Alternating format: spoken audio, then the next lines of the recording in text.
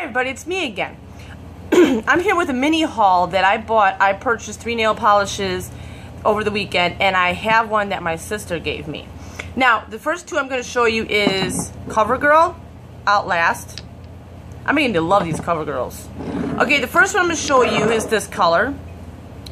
This is very pretty. This is was like two coats. Like, what I say maybe three coats, two to three. And this one is called Um, let me see if I'm going to say it right. Fat, Fat and France, Fance, Fancy, Fat and Fancy. I think that's what it's called, Fat and Fancy. But the color is right here. And this was like two to three coats. It's very, very light, but it's it's pretty.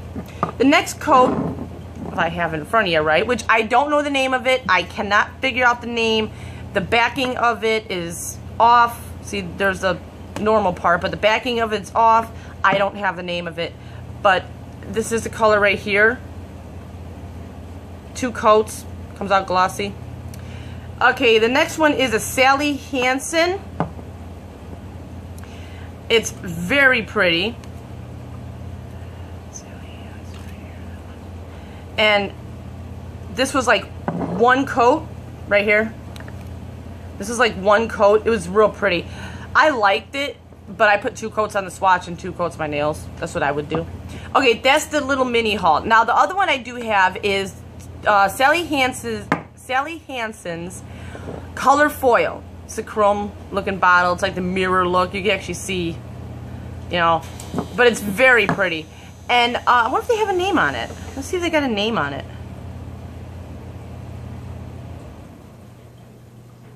Hmm. I don't see a name on it. Well, there's different colors that she came out with. She came out with this, I think, about the middle of, like, fall, I think. But it's very pretty. I love it. And I love my chromes. I used to wear it back when she used to have the old formula. This is a brand new formula. But this is right it right here. This has no top coat on it. Nothing. None of my swatches do.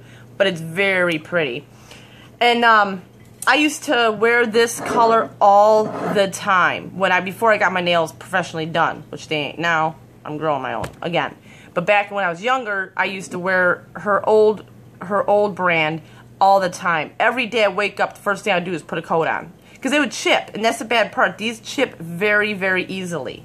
So, okay, that's it. I hope everybody likes my haul. I will be back later. See ya!